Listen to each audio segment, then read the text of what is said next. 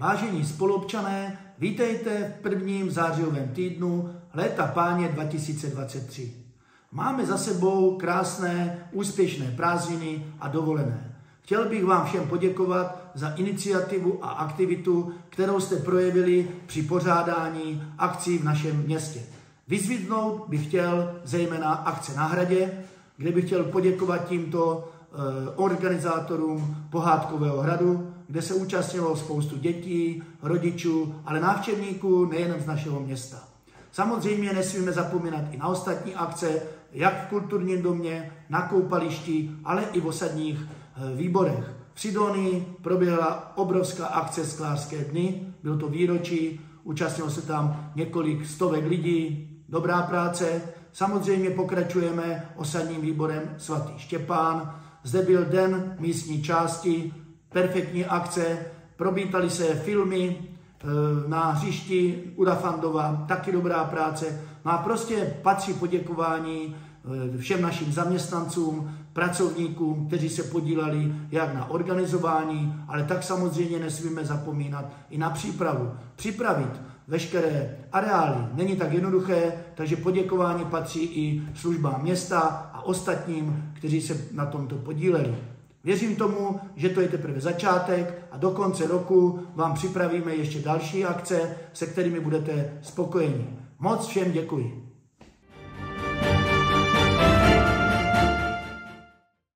Dalším tématem jsou školské příspěvkové organizace. Plníme naše plány. Historicky poprvé se podařilo udržet v provozu nepřetržitě všechny dny o prázdninách. Chtěl bych tímto pochválit všechny učitelky, všechny asistenty, prostě všichni, kteří se podílí na, na této práci, nech je to ve svatém Štěpáně nebo tady u nás v Brumově. Nebyla to jednoduchá práce, ano, muselo se i vařit, muselo se uklízet, udrželi jste to, moc vám za to děkujeme.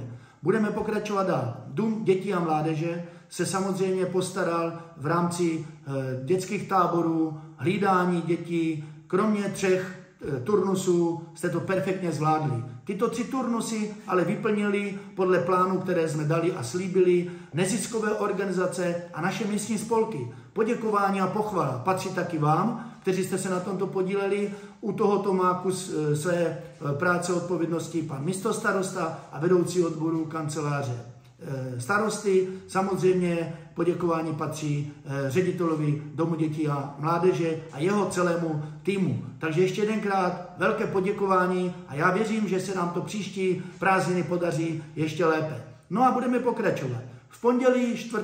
září jsme byli společně se zastupující paní ředitelkou zahájit školní rok. Bylo to perfektní, moc se nám to líbilo. Děkujeme vám, rodičům, děkujeme dětem, že jste nám udělali takovouto e, příjemnou akci. No a zřizovatel se rozhodl při této příležitosti 52 nováčkům do první třídy ve třech třídách se účastní tyto děti předat poukázku v hodnotě 500 korun na nákup školského vybavení. No a samozřejmě eh, držíme palce, ať to eh, ve škole funguje, ať se vám tam všem daří. My pro vás eh, tu školu zrekonstruujeme a já věřím tomu, že budete velice spokojeni. Dalším bodem je určité práce a činnosti, které se odehrály v mateřské škole, jak v Brumově, tak ve svatém Štěpáně. Vyměnili jsme kompletně všechno osvětlení za moderní úsporné ledkové. Ve Štěpáně svatém se samozřejmě spravil i v chodbě podhled, aby jsme ušetřili trošku topení. V Brumově v mateřské škole se přidala klimatizace, aby prostředí pro děti eh, v těch velkých vedrech byla příjemná, tak jak to má, tak jak to má být. No a samozřejmě pokračujeme dalším, eh, dalšími opravami. Eh, připravili jsme pro vás před otevřením krytého bazénu výměnu kompletního osvětlení, opět ledkového, no a chystá se výměna kompletní vzduchotechniky, která v našem krytém bazénu je od 80, od, od 80. let. Věřím tomu, že zase toto bude mít příjemnější prostředí pro nás, pro všechny. Děkujeme vám.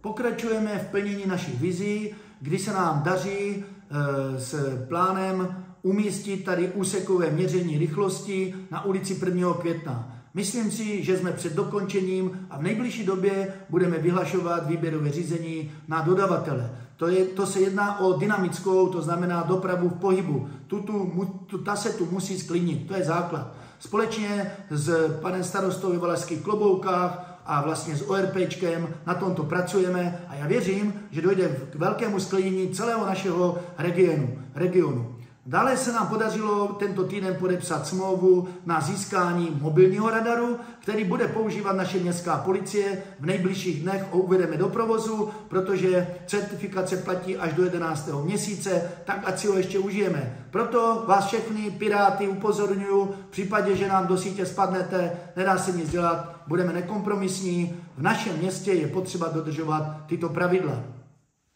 Další taková nepříjemná zpráva pro vás, řidiče, kteří nedodržujete nastavené pravidla, je, že intenzivně v současné době pracujeme na dodržování parkování.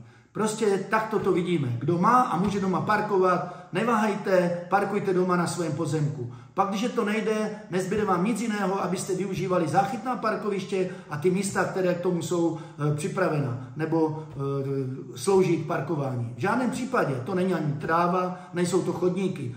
Tady budeme nekompromisní, tak vás o to žádám a prosím, buďte prosím vás tolerantní a hledejte si tyto místa. Tento majetek slouží nám všem a potřebujeme ho pro náš rozvoj a nenecháme si ho v žádném případě e, ničit a poškozovat. V neposlední řadě máme problém s odpadovým hospodářstvím. Prosím vás všechny, občany, spoluobčany, dbejme třídění, musíme třídit. Každopádně počítejte s tím, že letos, nebo respektive od 1. ledna, se zdraží poplatky. Musí se zdražit. Protože do toho dáváme více jak 3 miliony a nebojím se říct, možná statistika bude 4 miliony korun. A tyto peníze radši budeme eh, investovat do oprav, do údržby a do investic. Eh, ten odpad my připravíme, to znamená možnosti, eh, zajistíme, skoordinujeme ten odvoz, ale všichni se ho budeme muset zaplatit. Když budeme třídit, získáme větší finanční prostředky od těch, kteří za to platí, ale hlavně snížíme samozřejmě snížíme tady i tu, eh, ty tonáže, které, nebo ty tuny, které máme povolené. Eh, chtěli bychom eh, taky od konce roku zájít 14-denní svoz, tak se na to prosím vás připravte, komunikujme, konzultujme. 100% to ale nebude v Činžácích, kde tam není tolik popelnic a kontejnerů, takže tam samozřejmě to zachováme. Za to vám děkujeme. No a co se bude ještě v současné době provádět, tak aktualizujeme poplatky. Spoustu let se s poplatkami, různými poplatkami nehýbalo, aktualizujeme, neříkáme, že budeme všechny navyšovat, ale prostě musíme se za tuto dobu, za toto období, kdy došlo k určitému samozřejmě navýšení všech služeb, tak se na tím musíme taky zamyslet. Já si myslím, že toto je zájem nás všech, tak aby jsme se tu měli dobře a investice, které budeme do budoucna dělat, aby jsme na ně měli eh, dostatek finančních prostředků. Moc vám za to děkuji, abyste se nad sebou a nad tím vším zamysleli.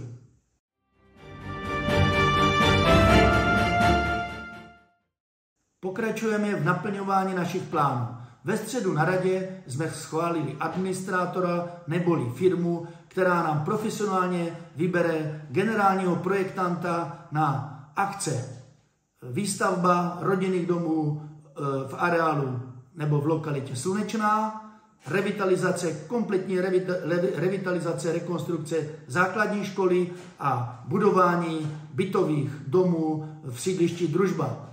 Doufám, že během několika dnů podepíšeme smlouvu a půjde to dál. Co vidíme jako problém jsou chodníky a komunikace. Ano, e, připravujeme e, zvýšení finančních prostředků do těchto komunikací, do těchto problematik a taky vám trošku přilepšíme e, tady tohoto užívání, aby nedocházelo k nějakým, řekněme, úrazům, které tady taky v minulosti byly, aby jsme se tady lepší cítili. Dále bychom chtěli schválit pravidla pro dotace na individuální čističky, to znamená, že máme tady v místních částech převážně nebo i tady blízko nás lokality, kde není napojení na kanalizace, v rozpočtu peníze máme připravené a chtěli bychom vás eh, podpořit a dát vám nějaký příspěvek, abyste si vybudovali individuální eh, čističky. Dále mám pro vás radostnou zprávu, že někdy od 16. října letošního roku začne oprava komunikace ve Sidonii, zhruba necelý kilometr od Rajčurny směrem k Točně a dále asi 520 metrů od, naše, od našeho bytového domu až po most číslo 2. Bude to krásná komunikace a věřím tomu, že to pomůže jak cestovního ruchu, ale tak samozřejmě vám všem obyvatelům, kteří tam bydlíte. Příští rok bychom chtěli pokračovat dál až po Točnu nad rodinu Mašláňovou. No a co je další taková informace je, že probíhá povolovací řízení cyklostezky nového úseku od Mezu ve svatém Štěpáně až po železniční přejezd, který naváže, tento úsek naváže na e, nyní budovanou cyklostezku, která bude, jak jsme slíbili, do prvního sněhu. To znamená, budování pokračuje a držím jak nám palce, tak i firmám, které se na tomto podílejí. Samozřejmě nemalou e, mírou se o toto zaslouží i naši zaměstnanci. Děkujeme.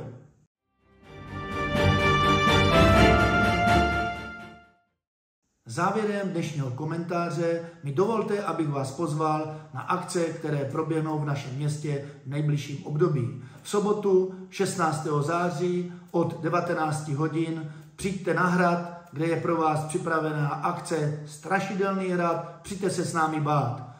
28.9. až 1.10. proběhne v našem městě taková nejdůležitější akce a jsou to svatováclavské slavnosti. Uvidíte krásný program, stánky, pití, zábava, hudba, muzika. Přijďte všichni, přijďte se podívat, co jsme pro vás připravili. 21. října je další kolo vítání našich nových malých občánků a v listopadu se tady představí zpěvačka Anna K. No a na prosinec pro vás máme velmi kvalitní program, zatím je to překvapení, samozřejmě některé tradiční akce, ale přijedou se tady na nás podívat a zahrát um, flereti, jedná se o um, královskou muziku Valašska, takže věřím tomu, že program pro vás a pro nás, pro všechny, bude kvalitní a naplněný. Děkuji za dnešní pozornost a ať se vám v následujících dnech daří. Naschledanou.